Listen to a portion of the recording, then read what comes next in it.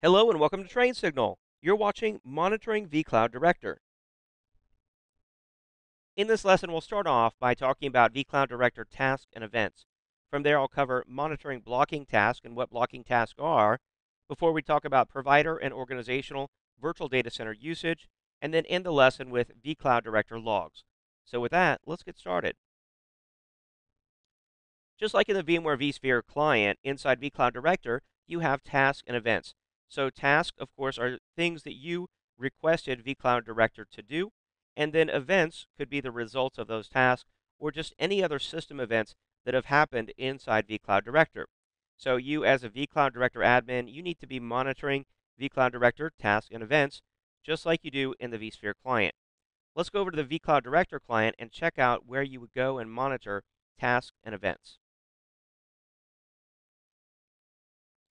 Here on the home screen of vCloud Director to monitor tasks and events, there's a couple different places to look. So first notice down in the bottom left-hand corner here, you've got a couple different statuses, and these are very important for you to check.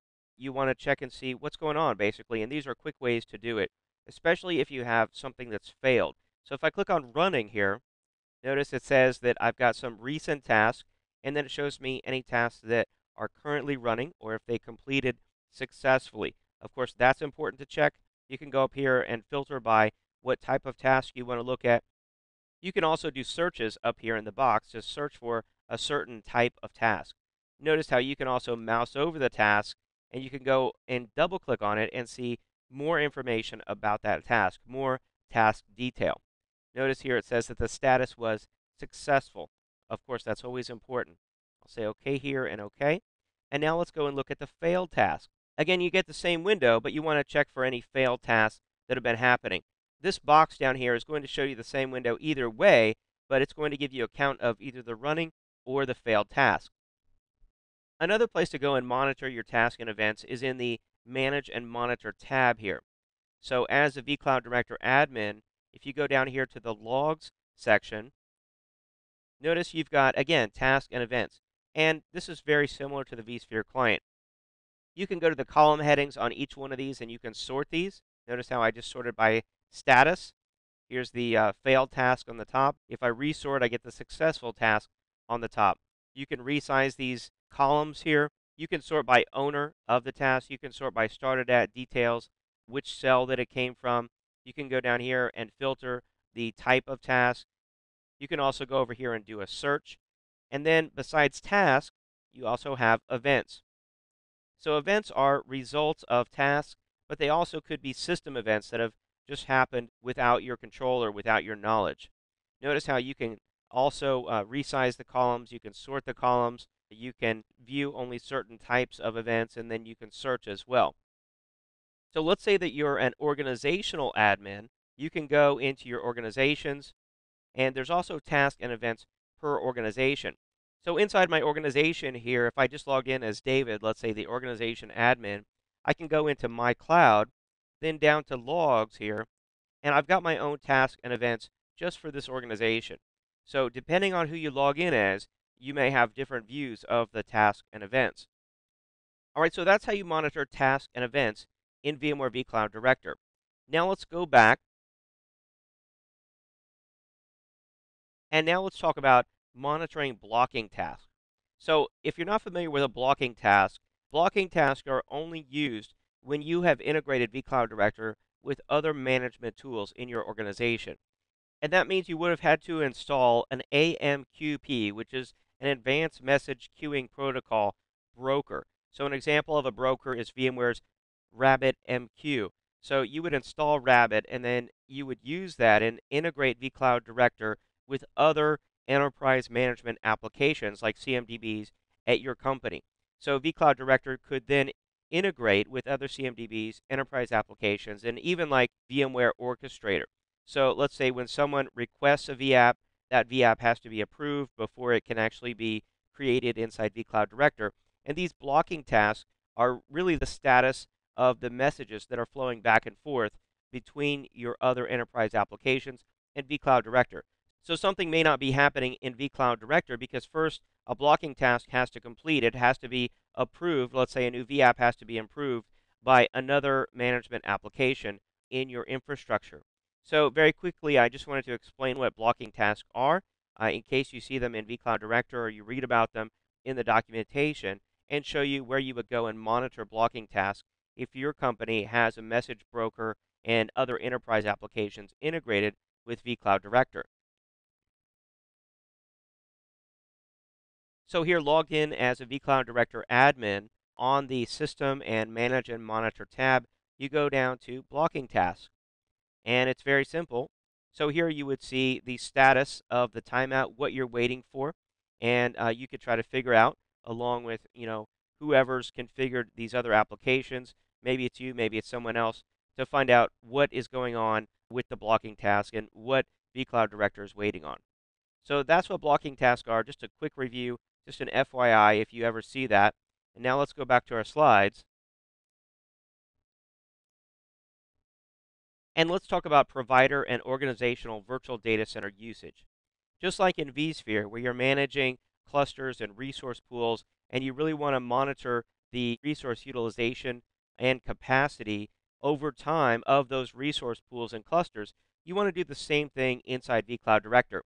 And in fact, once you have vCloud Director, you don't want to stop monitoring those resource pools and clusters inside the vSphere client. You want to keep monitoring those, but now you also want to monitor your provider and organizational virtual data center usage.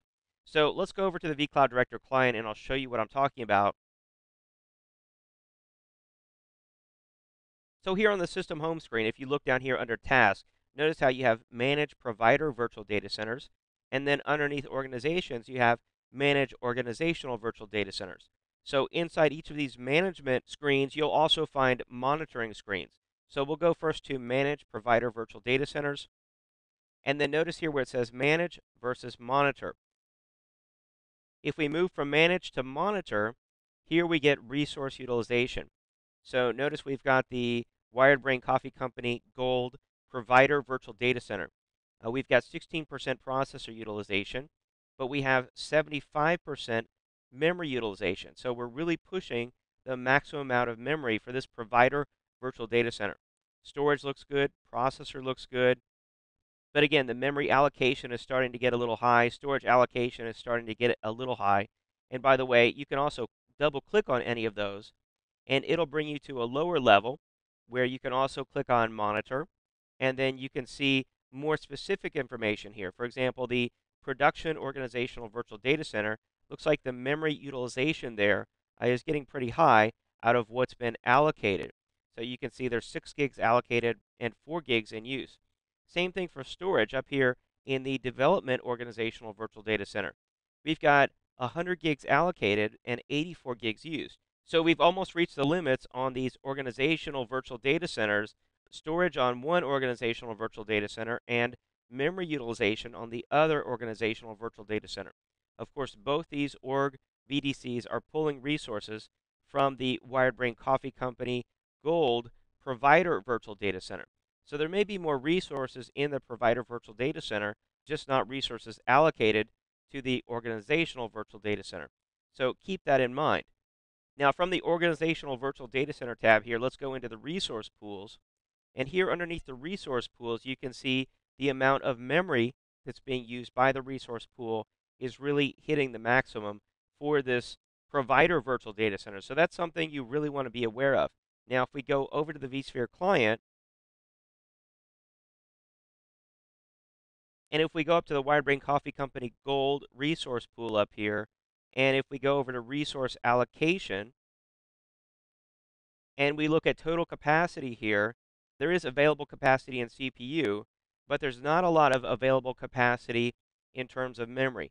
So what we're seeing over in vCloud Director for the provider virtual data center that's mapped to this cluster, this resource pool here inside the vSphere client is matching up. These two are really the same. We are running low on memory here in the vSphere client for this resource pool. Just as it says we're running low on memory for the provider virtual data center resource pool. So these two things are matching up. That's one way to monitor the resource utilization. Now, if we go in as an organizational admin, here on the home screen for the organization, if we go underneath administration and then underneath cloud resources and virtual data centers, notice we have the same monitor option here. So I can see here that my two organizational virtual data centers are also pushing their storage and memory limits respectively as an organizational admin. So it's not just the vCloud Director system admin that's seeing these org virtual data centers pushing their limits. It's also the organizational admin that can go in and see that these organizational virtual data centers are pushing their resource limits in terms of what's been allocated. So those are the multiple ways that you as a vCloud Director system admin as well as an organizational admin would be able to go in and monitor the resources that have been used in the provider virtual data centers as well as the organizational virtual data centers. So now let's talk about vCloud Director log files. I think it's important for any admin to be able to go and look at the text-based log files, at least know where they are, and if, uh, let's say, VMware support asks you to send them the log files or to go and look in the log files, you know where they are. When it comes to vCloud Director, if you uh, connect to the console of the vCloud Director virtual machine, the cell that you've installed, or if you SSH to that virtual machine, and then you CD into opt VMware vcloud-director slash logs, that's where you'll find all the log files. Uh, let's quickly go over and just check them out. I want to make sure that you know where they are and what log files are inside that directory. So here I am on the console of my vCloud Director virtual machine. I'm already logged in as root, and I'm just going to cd into opt slash VMware. I'll do an ls right here I'll cd into vCloud Director, do an ls, and then there's a bunch of different folders in here, but we want to cd into logs. So here I'll do an ls minus l, and you can see here's all the log files. So we've got a lot of active log files here that are growing in size.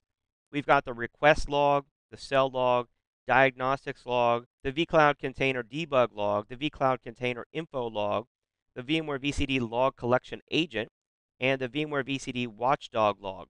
So we can cat out, you know, any of these log files we want, like the cell.log. And there's a lot of information in here. I'm not going to go into what all these different log files do. There's some good VMware knowledge base articles, and you can also find information in the help documents on what they do. But I think, again, that it's very important you know where the log files are, how to go in and find them, how to go in and cat out, you know, one of these log files, you could also grep for, you know, whatever it is that you're looking for, grep for error or uh, whatever problem you might be having over in the vCloud Director console because it doesn't always give you a lot of information in the vCloud Director web interface when something doesn't go as planned. And it's important, again, to come and know where to find the log files. And that brings us to the end of this lesson on monitoring vCloud Director.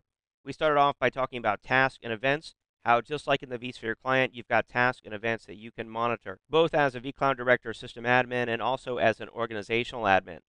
From there, I talked about blocking tasks and what they are and where to go find information about them. And then we covered provider and organizational virtual data center usage.